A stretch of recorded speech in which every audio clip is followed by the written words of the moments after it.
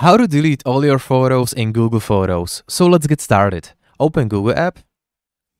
And I'm going to show you two ways how to do it. So first one is select one image and next to the month November, you will see this icon, click on it and it will select all photos from November.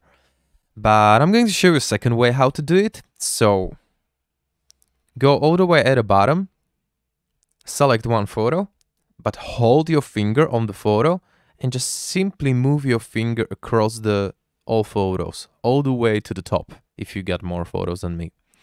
And then you can press delete and that's it. So one more time, just select last image, keep your finger on the image and just simply slide to the left top corner all the way up if you got more than 20 photos and you will select all the photos at once. And that's it.